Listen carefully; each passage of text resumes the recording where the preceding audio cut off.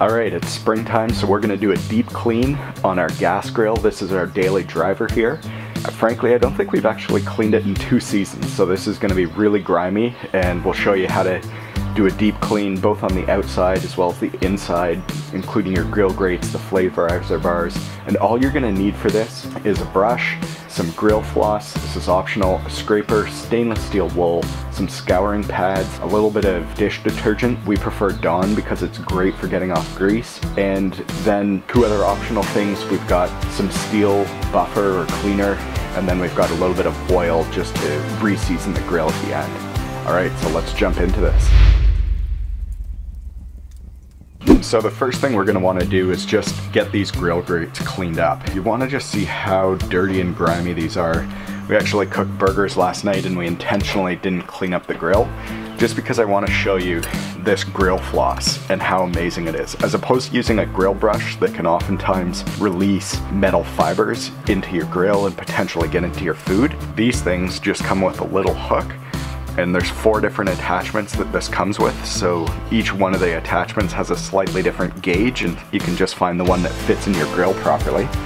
But it goes right around your grill grates and it just gets off all of that grime so if you want the perfect clean grill after every cook I'd highly recommend looking at this.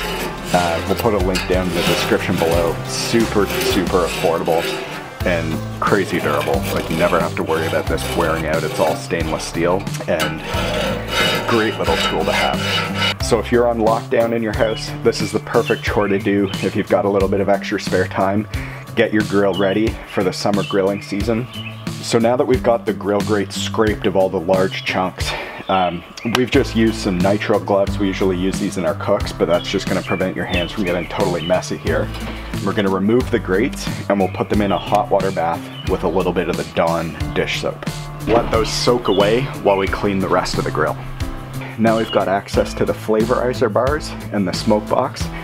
And similarly, we're gonna wanna remove any of the excess fat that's actually rendered down and built up on some of these flavorizer bars. So we just use a scraper like this. And don't forget the underside of these bars as well. You'd be surprised how much junk actually collects there. And we're just gonna go down each of these flavorizer bars, again, removing any fat that's rendered down, any cheese if you've made cheeseburgers and had that go through the grate, really anything that's just built up on these. And then we'll put this in the hot water soap bath uh, at the end as well. Now with the flavorizer bars removed, we'll just pull out the smoke box. Now I'll add this into the hot water bath as well. Now let's go tackle the rest of the grill while we let this soak away. Now for the inside of the grill, we're gonna wanna take our scraper and just scrape off all this junk into this middle part where you should have a tray down below that catches all the grease that ultimately drips down into the bottom of your grill. So you just wanna scrape that into that tray.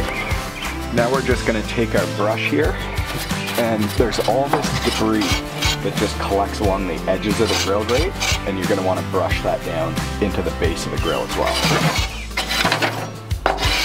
And now you're gonna wanna just go like this over top of your burner elements and you're gonna wanna brush the same way as the openings in your burner elements and that's just so that you're not actually pushing any grime into these little holes and blocking them up or clogging them up.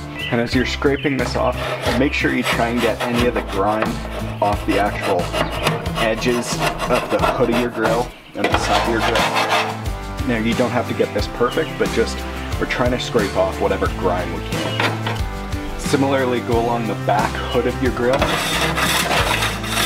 We're just trying to remove the bulk of the grease. Now with all that cleaned out, we can reach in under here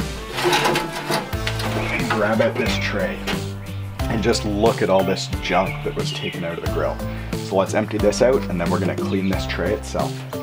Now we're gonna try and get some of this grime from the side of the grill. So we're just gonna take a scouring pad with a little bit of soap and water and some elbow grease here. If there's any stuck on spots like that, just use a little steel wool. No problem, comes right off. All right, so we'll just give that a rinse now with some cold water get it cleaned off, done.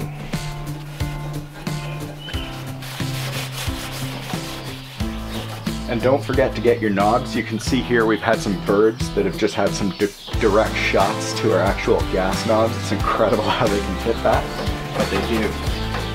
So make sure you get your knobs cleaned up.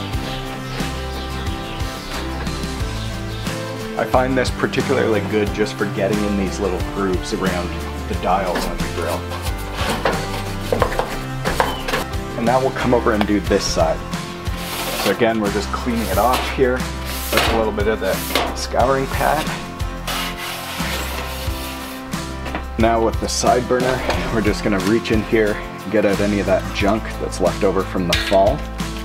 We're really just trying to remove some of the grime, make sure we don't end up with grease fires.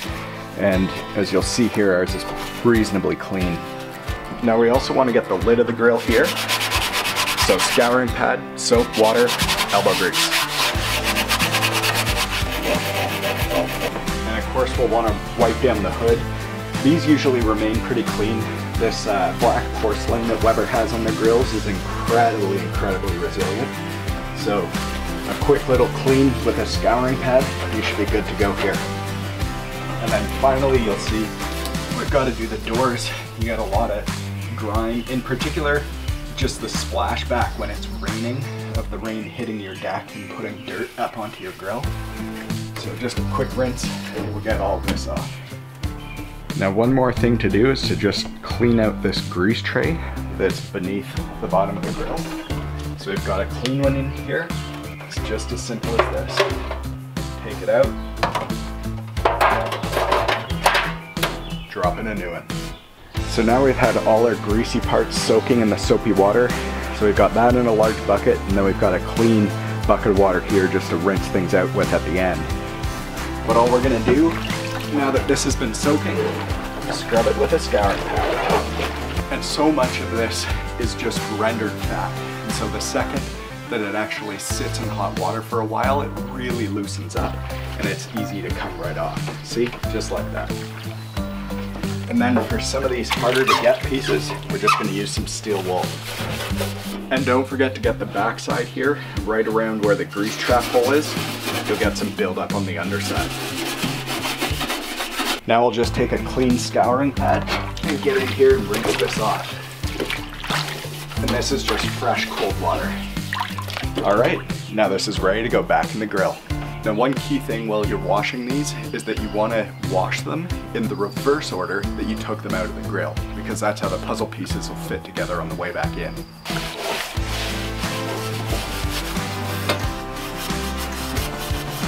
Now I'll dip that in cold water, rinse it off, and get this back in the grill. Now onto a flavorizer bar, and these we're just giving a quick once over with some stainless steel wool.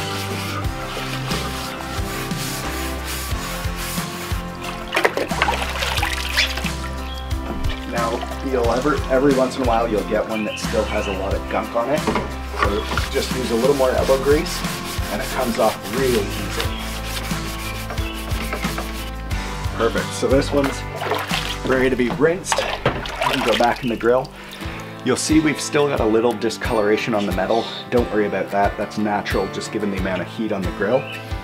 So you're never gonna be able to get this perfect and back to that original stainless steel but you're 99% there. Now for the last pieces are the grill grates. And you'll see this water's gotten pretty grimy just given all the rust and grease that we've gotten off of the other components. We're gonna scrape this down with steel wool here, but we've changed out our clean water because we're gonna wanna make sure we give these a really good rinse afterward to get all of this junk off of it. We don't want any of the metal particles that have come off through this process from the various components to stay on the grill surface because this is what we're going to be eating off of. All right, let's get this back on the grill. Now that we've got everything back in place, we're not done yet. A few more steps here, so stick with us. Now what you're gonna wanna do is turn all your burners to high and just let those go for about five minutes to make sure you actually dry out all the components that we just washed. And that includes the side burner. And then just close down the lid. Now while we're drying off the interior of the components, we're just gonna use some stainless steel cleaner. And this is really just to polish off your stainless steel without leaving any streaks on it. So just spray a little bit on And then you're gonna wanna brush with the grain of the stainless steel. And then get it along the front here too. And this is just gonna give you a really nice polish. And of course, at the end of this, it's gonna be really important that you cover your grill so that you try and preserve this cleaning as long as possible. Now, of course, we'll link these products in the description down below, but any stainless steel grill cleaner or any stainless steel cleaner, frankly, is gonna do just fine. So don't feel like you've gotta use the ones we are. I think the one important thing to make sure is if you are using a cleaner, just make sure it's all natural because you are using this on surfaces that your food's gonna be around. So you don't wanna accidentally get any chemicals into your food just by using the wrong cleaning agent. Now we turned off the side burner and we'll get this last side. Now we've just turned off the burners and the last thing that we're gonna do is just re-season this grill. So we've got some barbecue grill oil. This is 100% all natural. I think this is a combination of citrus and coconut. Again, all these products will be in the description below, but just make sure you're using an all natural oil. You'll wanna put a generous amount of this oil on a paper towel. Let it soak in there. And now you're just gonna wanna rub the grill grates. You're gonna start to see it smoke. This is the grill grates just re-seasoning. And this is also gonna help prevent the food from sticking on your first cook because we'll have nicely seasoned grill grates. Yeah, you can smell the coconut. There's definitely coconut oil in this product here. You can see the grill grates, what parts have actually been hit with oil, so just make sure you're getting a nice even coating all over the grill grates. Now we're just gonna turn our burners back on to medium and then let this go for another two or three minutes just to let that fully season in. Now that we got our daily driver all cleaned up, there's just one thing left to do, and that's to get grilling. So if you want some ideas, go check out one of the other videos on our channel here. Thanks for tuning in.